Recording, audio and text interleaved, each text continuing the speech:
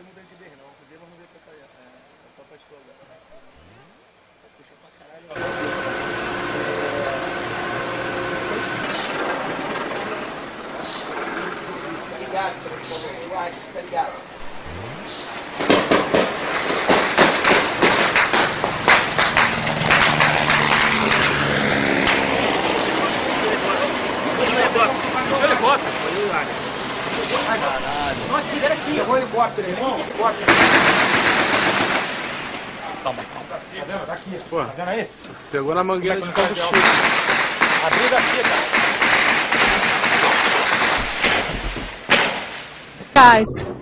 Nesse momento, olha, mais uma viatura entrando.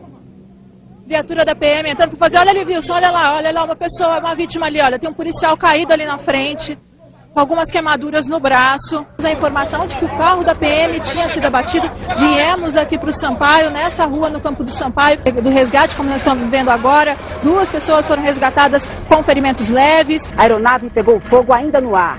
O piloto tentou fazer um pouso de emergência, mas o helicóptero explodiu ao O tiroteio era intenso no Morro dos Macacos. Viaturas chegavam a todo momento para dar reforço aos policiais. O carro blindado da PM subiu o morro. Em um dos acessos à favela, na rua Visconde de Santa Isabel, o trânsito ficou interditado. Pneus queimavam no meio da via. Spray de pimenta para dispersar um princípio de tumulto. Segundo a polícia, até o começo da... Na Vila Olímpica do Sampaio... Ali na região da favela do Jacarezinho, do lado direito do vídeo, a gente vê a aglomeração de algumas pessoas. A polícia militar já chegou ao local, mas ainda não temos informações sobre feridos.